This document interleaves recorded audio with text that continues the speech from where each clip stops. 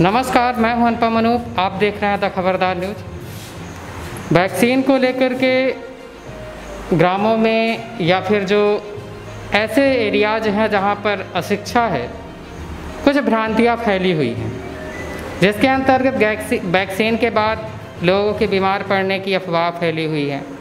कई जगह पर और कई तरीके की अफवाहें फैली हुई हैं, जिसके कारण से लोग वैक्सीन लगवाने से बचे रहे लेकिन ऐसा कुछ भी नहीं है। ये वैक्सीन पूरी तरीके से सुरक्षित है और सरल तरीके से लगाई जाती है। हमारे साथ अमरनाथ जी हैं जिन्होंने स्वयं वैक्सीन लगवाई हुई है। उनसे आइए चर्चा करते हैं। सबसे पहले हम आपका स्वागत करते हैं द खबरदार न्यूज़ पर। तो आपने वैक्सीन की दोनों डोज लगवाई? हाँ दोनों डोज लगवाई। पहली डोज आपने कब लगवाई? पहली डोज हम लगवाई एक मार्च को। और दूसरी डोज दूसरी डोज लगी हमारी एक अप्रैल। 2021 को। जी।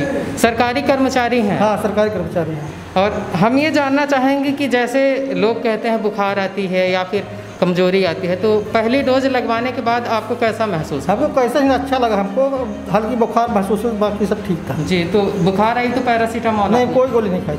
बिना मेडिकल ट्रीटमेंट के मेडिकल ट्रीटमेंट कम ठीक से तो ये बुखार कितने दिन तक आई थी लगभग?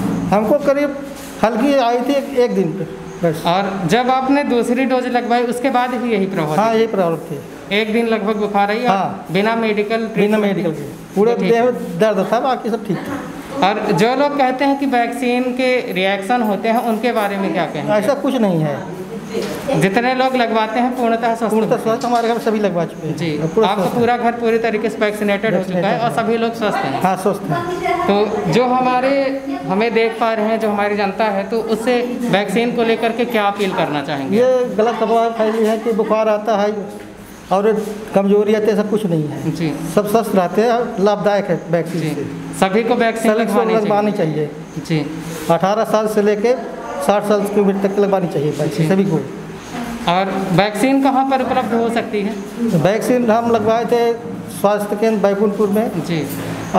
सिरमौर में लगवाए जी। दोनों सिरमौर और बैकुंठपुर या फिर कोई भी सरकारी हॉस्पिटल है हाँ, वहाँ- वहाँ पर। जा कर के आप वैक्सीन लगवा सकते हैं। जी।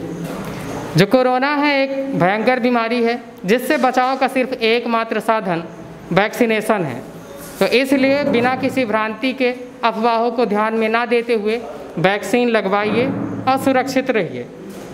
हम अपने चैनल के माध्यम से, एक जिम्मेदार नागरिक होने के माध्यम से आपसे अपील करते हैं, पूरे देश से अपील करते हैं कि वैक्सीन लगवाएँ स्वयं को और अपने परिवार के साथ साथ समाज को भी कोविड के खतरे से बचाने की कोशिश करें। मास्क लगाए रहें, सोशल डिस्टेंसिंग बनाए रहें। देखते रहिए द खबरदार न्यूज़। नमस्कार धन्यवाद।